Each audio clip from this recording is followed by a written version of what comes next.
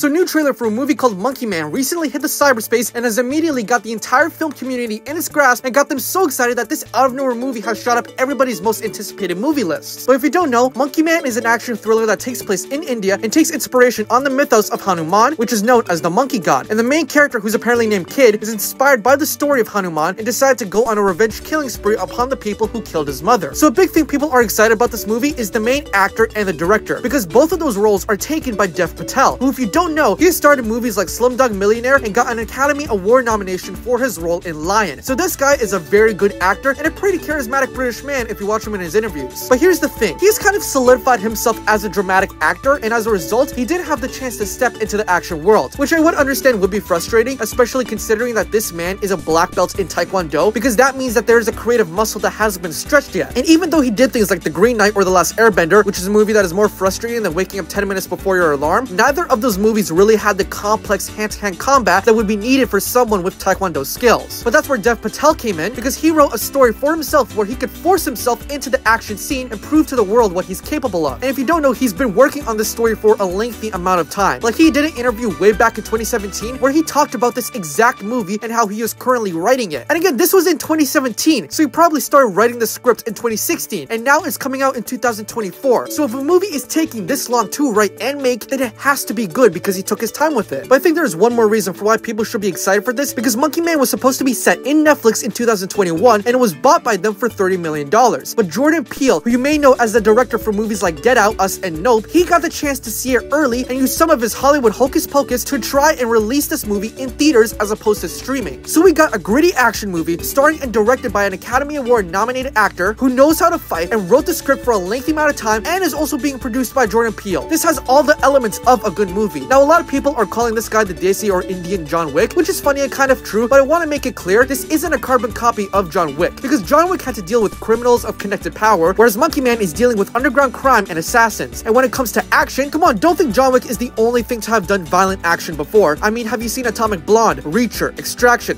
Punisher, Bullet Train, The Equalizer? Violent action isn't anything new, it's just that John Wick was the best at it. But let's see if Monkey Man can beat that and do something different. But yeah, thanks for watching.